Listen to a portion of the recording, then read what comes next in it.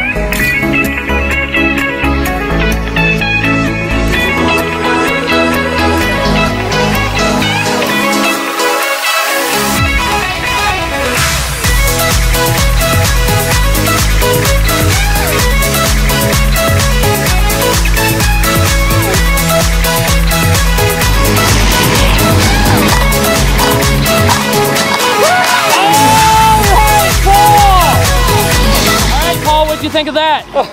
Unbelievable. Yeah. What were you thinking when you got up to the door? Uh, I, how fast I was going to be going. I just can't imagine that speed when you go out of that plane.